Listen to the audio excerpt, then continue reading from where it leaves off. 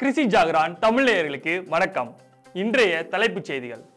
எம்எஃப்ஓஐ விருதின் title ஸ்பான்சராக இணைந்தது Mahindra tractors PM Kisan பதினைந்தாவது தவணையினை விடுவித்தார் பிரதமர் மோடி.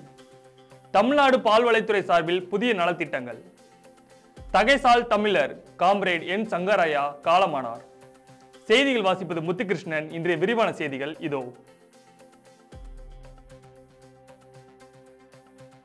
கிருஷி ஜாகரான் மற்றும் அக்ரிகல்ச்சர் வேர்ல்டு இணைந்து வேளாண் துறையில் சிறந்து விளங்கும் விவசாயிகளை கௌரவிக்கும் நோக்கத்தோடு மில்லினியர் ஃபார்மர் ஆஃப் இந்தியா விருது வழங்கும் நிகழ்வினை ஏற்பாடு செய்துள்ளதாக ஏற்கனவே தெரிவிக்கப்பட்ட நிலையில் தற்போது விவசாயிகளின் நம்பகமான மற்றும் இந்தியாவின் நம்பர் ஒன் டிராக்டர் நிறுவனமான மகேந்திரா டிராக்டர்ஸ் எம்எஃப்ஐ இரண்டாயிரத்தி இருபத்தி மூன்று நிகழ்வுக்கான முதன்மை மற்றும் டைட்டில் ஸ்பான்சராக இணைந்துள்ளது மகேந்திரா டிராக்டர் எம்ஓ விருதுக்கான டைட்டில் ஸ்பான்சராக இணைந்தது மகிழ்ச்சியையும் பெருமையும் அளிப்பதாக கிறிசி ஜாகரா நிறுவனர் எம் சி டோமினிக் தெரிவித்துள்ளார் as a dream has coming to force today with Mahindra becoming the partner of Krishi Jagran as the title sponsor for MFI millionaire farmer of India Awards.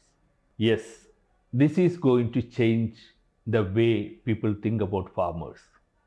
It is going to create a huge number of icons in the Indian farming community. Yes, there is no better partner than a leader from the agri machinery manufacturing sector to lead this movement. Yes, I am confident, like many other partners, Mahendra, unique partner, with whom I'm sure will make the change the face of Indian farming community into a brilliant, bright, and exciting one. Let us together make it.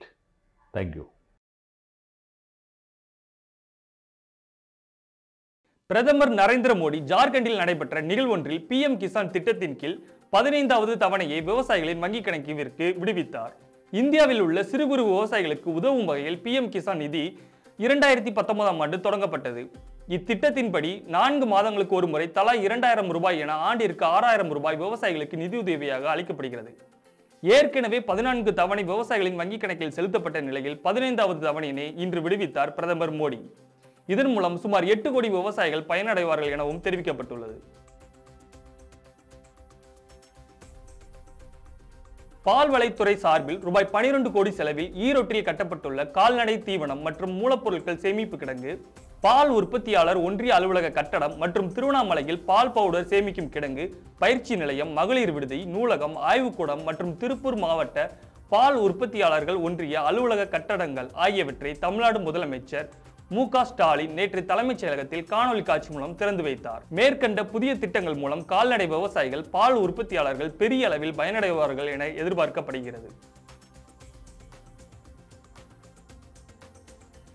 Communist இயக்கத்தின் முதுபெரும் தலைவரும் விடுதலை போராட்ட வீரரும் Marxist communist கட்சியின் தமிழ்நாடு மாநில முன்னாள் செயலாளராக பணியாற்றியவருமான என் சங்கரையா காலமானார்.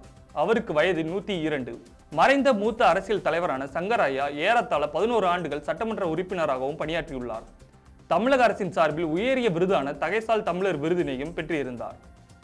சங்கராயாவின் மறைவிற்கு தமிழக முதல்வர் உட்பட அரசியல் கட்சி தலைவர்கள் பொதுமக்கள் பலரும் தங்களது இரங்கலை தெரிவித்து வருகின்றனர். கிருஷி ஜாக்ரான் வேளாண் சார்ந்த தொழிலில் ஈடுபட்டுள்ளவர்களை சிறப்பிக்கும் வகையில் ஏற்பாடு செய்துள்ள எம்எஃப்ஓஐ விருது வழங்கும் நிகழ்வுடன் வேளாண் கண்காட்சியும் நடைபெற உள்ளது. வருகிற டிசம்பர் ஆறு ஏழு எட்டு டெல்லியில் நடைபெறக்கூடிய நிகழ்வில் பங்கேற்க விரும்புவோர் கீழ்காணும் டிஸ்கிரிப்ஷனில் உள்ள லிங்கினை பயன்படுத்தி முன்பதிவு செய்து கொள்ளலாம். மேலும் வேளாண் தொடர்பான செய்திகளை உடனுக்குடன் தெரிந்து கொள்ள கிருஷி ஜாகரான் இணையதளத்தை பாருங்கள். நன்றி வணக்கம்.